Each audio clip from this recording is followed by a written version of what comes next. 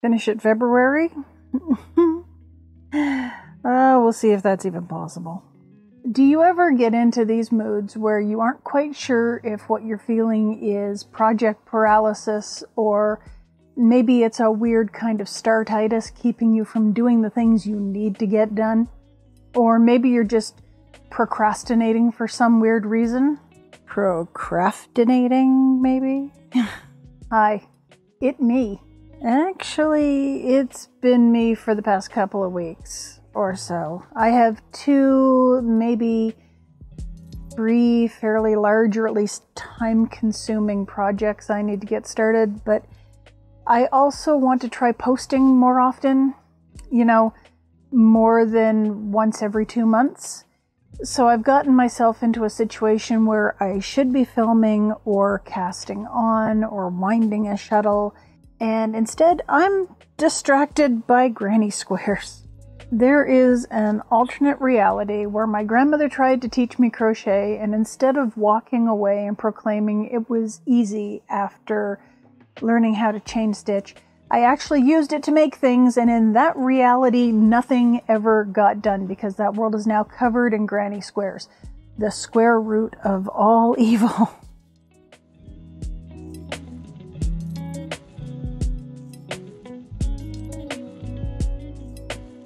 Three, four, five, six, seven, eight, nine, ten. I swear they're like potato chips around here. Finish a granny square, get a hit of dopamine from an easily finished project. I started off making squares from the Red Heart all in one granny square yarn for the review video a couple of weeks ago and trading off colorways and finishing off with black yarn instead of white. If you were at all conflicted over that yarn after my review, I'll just say this. They're relatively easy and they grow on you. The hardest part is literally obtaining the yarn. And now I've graduated to an entirely different granny square. One that, for the most part, requires about the same amount of end weaving and a whole lot less angst about meeting your gauge. If you like last angst about making gauge, boop the like button and insert mandatory like, subscribe, and check out my Patreon here. My patrons are pretty fantastic, by the way, so a big thank you to them. You know who you are, and now everyone else does too. Basically, I have some Red Heart retro stripe I'd picked up about a year ago when I was gainfully employed, hoping it would color pool like the neon stripe, but no. The color segments are too long, and it's been languishing in the bottom of a bin ever since, waiting for me to figure out what I'm going to do with it. I lost the receipt during the take back seas window, and there's a stubborn part of me that's just certain that I can make it into something really nice if I try. Mainly because it's pretty. Don't judge me. I looked it up on Ravelry and I found out people are making sunburst granny square blankets with it, and I just happen to have a bunch of balls of the stuff. There's granny squares everywhere now. It's granny squares all the way down. When I'm working on video planning, granny squares. Editing, granny squares. When I'm being social on Final Fantasy late at night and don't want to run around in circles while I'm waiting for people to form up in groups, I work on a granny square, and it's stupidly satisfying. Seriously, anyone who plays a massively multiplayer online game can tell you that unless you have something to do with your hands, you will literally run your character around in circles, practically parkouring off the scenery just to distract yourself, while Nine Jaguar fetches cookies out of the oven, or Three Ocelot wrangles their toddler, or Prime Serpent goes to get a soda, but we really know he's not getting a soda. He's going out for a smoky treat on the back porch, and goodness only knows when he's going to be back because he'll have a huge case of the munchies and will spend the next half hour looking for that bag of nachos he doesn't remember he finished two weeks ago so it's either run around in circles or take up a real life or in game craft while you wait. Might be talking from experience there. I used to knit socks between flight points in World of Warcraft, and now I crochet granny squares in Final Fantasy XIV while waiting for the leap of faith to pop up in the gold saucer. And I know that only like three of you got that reference, but you're probably laughing your butts off, and that's what makes it worthwhile.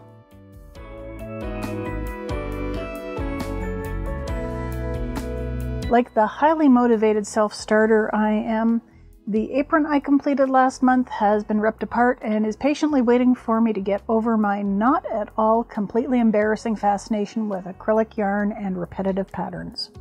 It's gonna be fine, folks.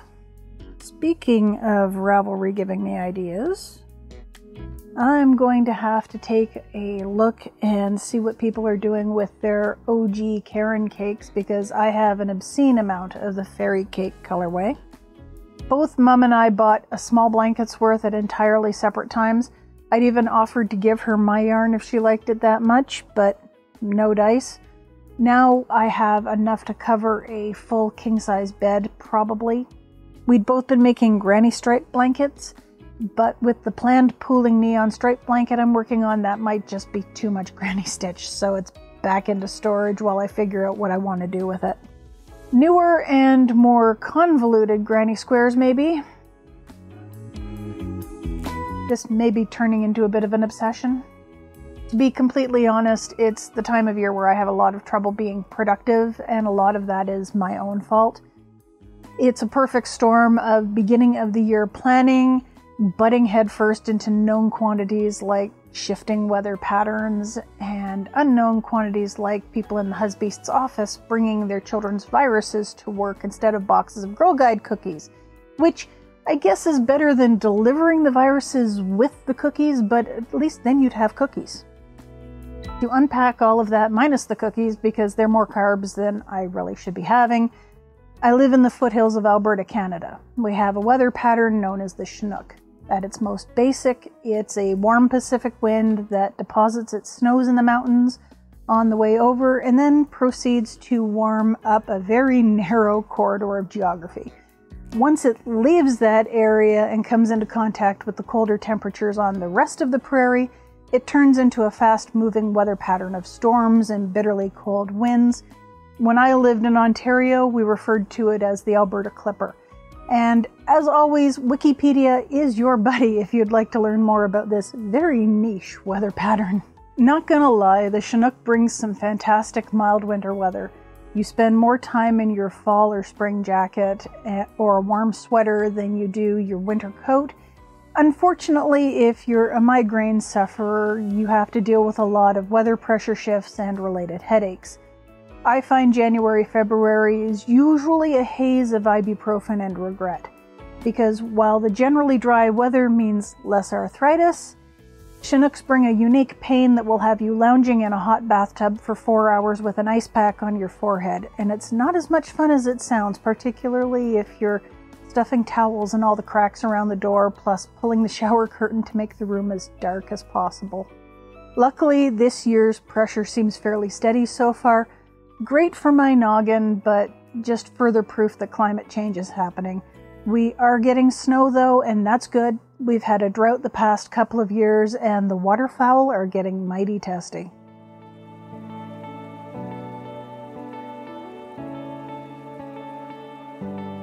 I mentioned I have some near future plans. I have designs on making a shirt, a collar, and a pair of socks. Not necessarily in that order, and because I need to make a mock up, I'll be making two shirts. No worries, I think I know how I'm going to give both shirts different flavors. As I don't particularly want to cut up any bed sheets and I can use all the comfy tops I can get, I hit the clearance section of Fabricland and I came home with at least two more fabrics than I had planned. These two are a linen blend, which I really wasn't expecting to find at Fabricland, so color me impressed. And this is a Madras print. Cotton, I think. I've got about five meters of each, which should hopefully give me a little wiggle room for any kind of screw ups. I'm thinking of making the mock up from the pink, and I'm entertaining ideas about the other two. The rose on white might become a really nice peasant blouse or similar to go under a dress, maybe. I'm thinking of making a cashmerette dress from the check. I don't know how many of you are familiar with Charlie from the Stitchery, but she's hacked her favorite knit dress pattern to make a cozy hooded winter dress. I'm considering finding some cozy fleece if I can and doing a little pattern hacking of my own. I have one of the newer McCall's patterns, new as in the past three to five years, I think.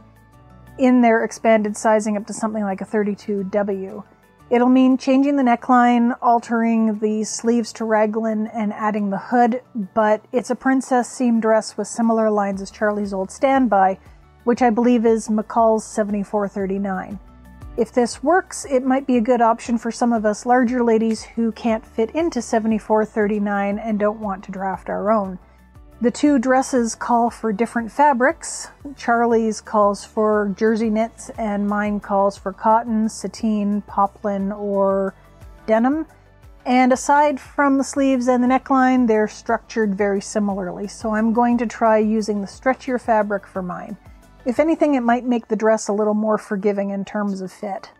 So I'll be keeping an eye out for some fleece or warm jersey, basically sweatshirt material, or maybe even a stretch velvet if I'm feeling particularly adventurous. I think pattern hacking is probably the next step in teaching myself sewing and patterning. I've done a little previously to work out fit on a project. It's probably only a matter of time before I put together my own bodice block because I do want to eventually make the walkaway dress and while there are ways to slash and enlarge the pattern, I'm thinking redrafting it to my own measurements might be a better idea. I'm sure many of you have already seen Closet Historian's version, which is why I'm even considering doing it this way. If you'd like to see the other method, check out Ashley Main's channel. If you haven't heard of her and if you're into plus sized retro fashion, you probably should. I'll have a link in the description. And yes, I've dangled tatting in front of my audience a couple of times. There will be some tatting coming down the pike. I'm just trying to figure out how in depth I want to get in a public interest video. There's a part of me that's considering adding a more in depth video and updated pattern notation to my Patreon, and if I have them turned on at the time, channel members, in case anyone else wants to try their hand at it. Now, obviously, the original pattern is available for free on the internet and if you're an experienced tatter, it's likely all you'll need. When the time comes, I'll be including that pattern information with the public video. The reason I'd be putting the very niche, in depth breakdown behind a paywall is precisely because it will take some effort to put the whole package together. As it is, if you're a $10 patron, you have access to a small library of patterns I've either created or mostly in the case of antique patterns, updated and or reformatted for modern crafting. I've been using the community tab a little bit more and trying to come up with fun things like behind the scenes on the granny squares and polls. Some of you may have seen the topics in the last poll, and yes, those are projects I'm working on. They're just vague enough to not give everything away. I'm trying to strike a balance where I can talk about what I'm working on without giving away any surprises because other than the Husbeast, you folks are the people I talk with about my channel.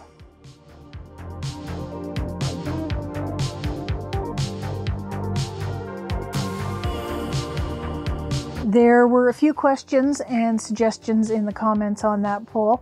So just to respond quickly here, or at least as quickly as it gets, how did I get into historical costume? My parents went to a lot of effort with the Halloween costumes when I was a kid.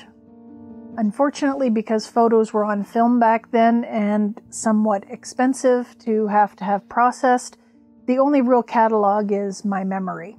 So things like Holly Hobbie, the Blue Fairy complete with wings, Wonder Woman. One year, Mum used a pajama pattern to turn my brother and I into Care Bears, and when the Ghostbusters was really popular, the whole family pitched in to work on my brother's costume. Dad made the logos and tags, I helped paint them on the uniform, and Mum wired up the proton pack. Yes, she did the electronics because she was a ham operator and knew how to read schematics. Apparently, she used to do schematics in her head to get to sleep at night, so I guess that's a new kind of boring. I also was a preteen and a teenager during the 1980s, and there was a lot of fantasy in the movies Legend, The Dark Crystal, Labyrinth, and historical dramas like Lady Jane and A Room with a View. So, my first real forays into costuming were mostly fantasy and Tudor era inspired. We're not even going to talk about the year Cats was everywhere because, if anything, it was proof of the influence of advertising. The touring production started a real wave of Cats mania that we're still trying to figure out in this century. Now I'm just making things as time permits and choosing things I like from anywhere in history that suits my needs or desired look because I can.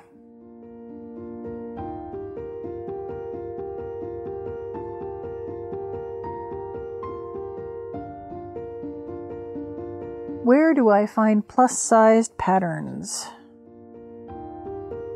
Oh boy. Short answer? Wherever I can. Here's the problem the costuming community loves drama, and I'm very much trying to keep my eyes on my work and get things done because otherwise you wind up in an echo chamber of all of the same outfits all of the time. A pattern company that's everyone's darling one moment is borderline canceled the next, and it's not like I have the time and money to thoroughly research every company and repurchase patterns, particularly when finding something in my size is really seriously difficult and I may already have a pattern that fits. It's just that a percentage of my viewers don't like that company for whatever reason. And whatever your thoughts, those opinions may be entirely valid. The rest of the viewers have either never heard of the drama or they don't give a flying frack on a rolling donut, which is also fair because they too just want a pattern that fits. Or the entertainment of seeing me trying to figure out a novel new cuff construction method. So that's an unwanted frustration that a lot of straight sized people don't necessarily have to go through. There are plenty of pattern producers and retail companies catering to their demographic not so much mine. When a pattern maker who extends their sizing to mid fat and super fat decides to air their unpopular opinion, it often hurts me more than it hurts them. And unfortunately, the advice to just draft my own patterns for myself is horribly naive considering all the adjustments I should be making to even commercial patterns to get them fitting correctly. If I was sewing solely for my own amusement and didn't have any deadlines I needed to keep, I might entertain the notion. But when you're trying to make something to post a video in a week or two, that's just not always feasible.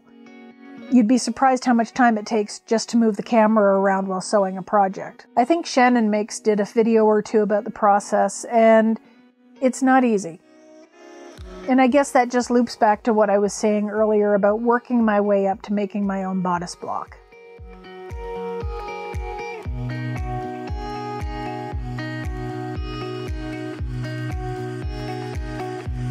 How do I choose fabrics and authenticity versus cost? Right now, authenticity isn't even a factor. It's not on my radar.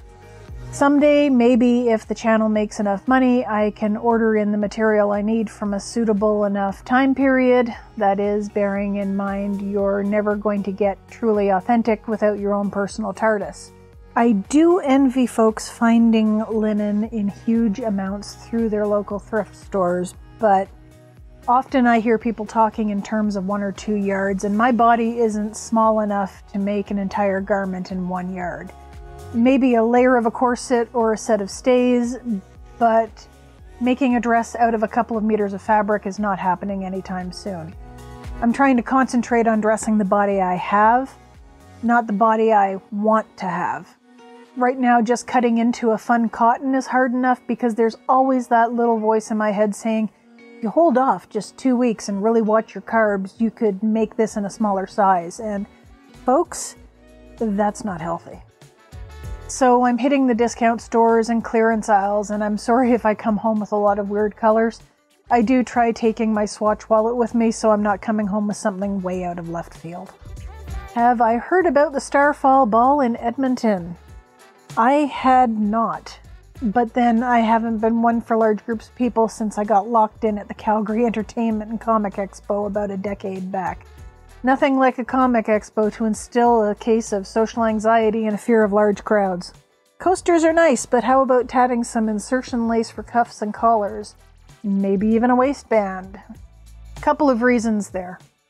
The first assumption is that I want to stick around the late Victorian into Edwardian time period and make items that use fiddly old insertion lace and trim when there are plenty of other folks who have made insertion lace videos ad nauseum. The second assumption is that I want to be stuck doing the same repetitive pattern for meters on end.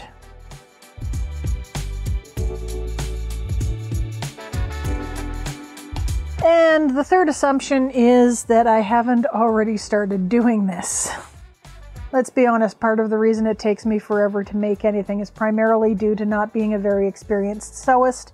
That's not even taking into account any kind of competency.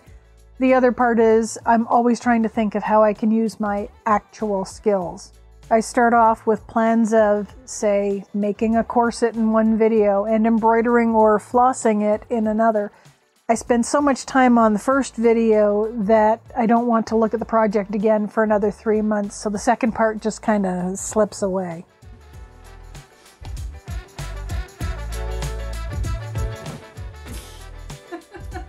Pro tip do not declare, just reef on it.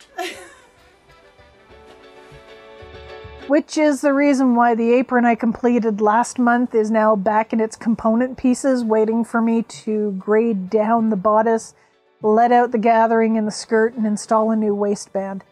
I'll probably get back around to it in another month or year, and that's on my own time without a camera rolling. Do I have plans to embellish garments with things like tatting or crochet?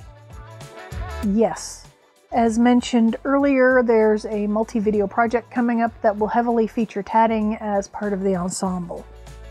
I'm hoping the bits and pieces of the project will make for a nice, entertaining variety of videos, but for a change of pace, something small and fun like encasing motif samples in resin might be a nice palette cleanser, you know?